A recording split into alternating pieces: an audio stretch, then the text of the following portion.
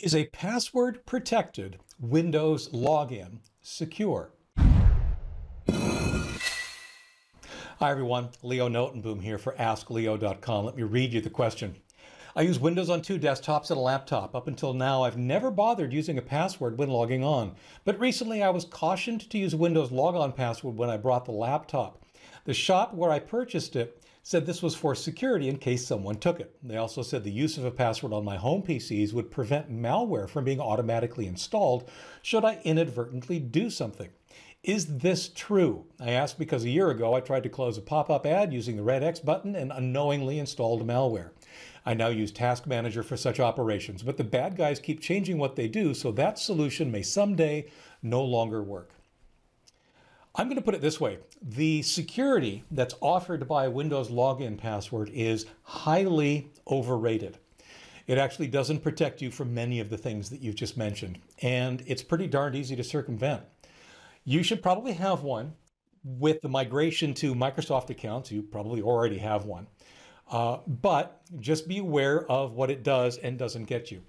The big one that I think people need to understand is that if your laptop or your computer gets stolen, the password that you have on your Windows account doesn't really protect you from much. The thief can remove the hard drive and attach it to a different machine and start looking at all your files. Or they can boot from a live Linux CD or USB or some other kind of recovery disk and still be able to get at everything that's on the machine.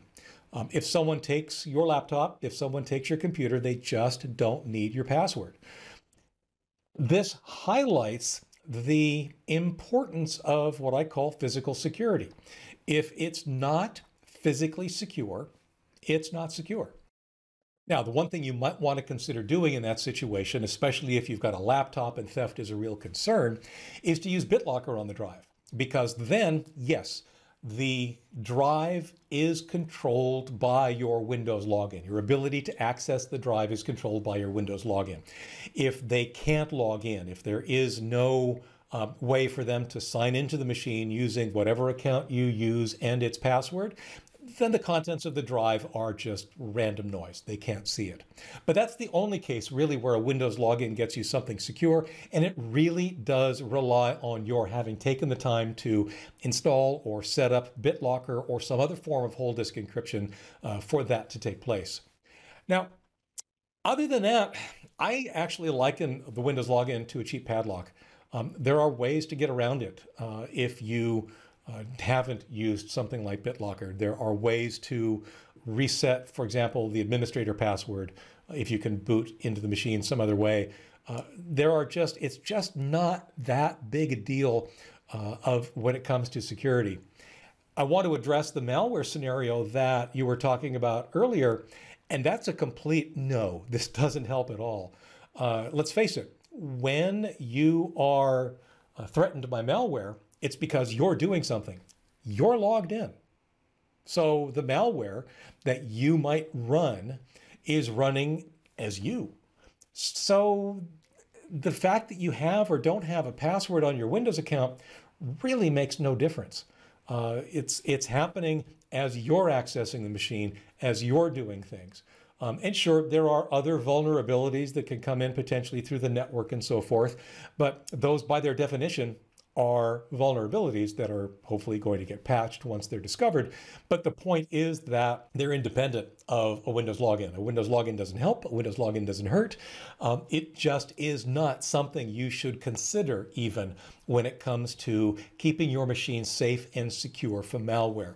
The right thing there are your own best habits using up to date security software, keeping your entire system as up to date as possible. The usual stuff we talk about here often.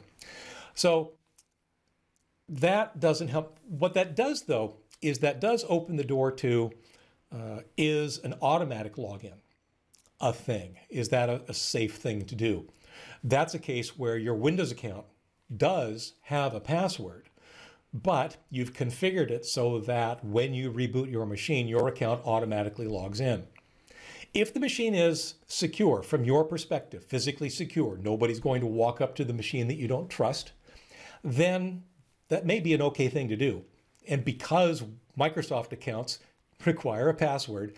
That's about the only way you're going to bypass the need to enter a password when you reboot a machine by enabling this automatic login. But only do that if you can be certain that it's okay for someone with access to the machine to reboot it and then be automatically logged in as you.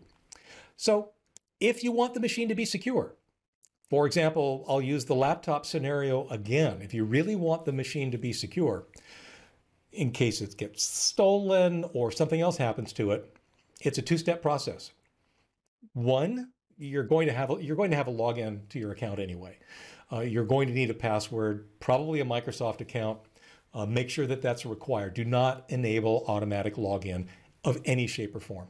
And second, enable BitLocker because, like I said, they don't need your password to access your disk unless you've enabled whole disk encryption of some sort and BitLocker included in Windows 10 Pro or Windows 11 Pro and better um, is fine.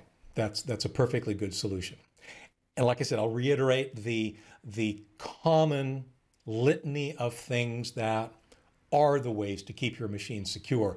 That is, having good, up to date security software. Windows Defender is great for most people, Microsoft Security built into Windows. Keep all of your software, Windows itself, your security software, your applications, everything as up to date as possible. Be skeptical and on guard. This is where malware tends to sneak in most of the time. They fool people into opening attachments from emails that they weren't expecting or doing all sorts of things that basically bypass the best security in the world because it's the user saying, do this. We assume that the user knows what they're doing, even though that isn't necessarily the case. And finally, of course, it wouldn't be Ask Leo if I didn't talk about it. Back up regularly so that if something goes wrong, you've got the opportunity to restore whatever it is you had on your machine at the time the backup was taken. Hope that was helpful. I hope that gives you a better sense of what to expect and not to expect out of a Windows login. For updates, for related links, for comments and more, visit askleo.com slash 4231. I'm Leo Notenboom, and this is AskLeo.com. Thanks for watching.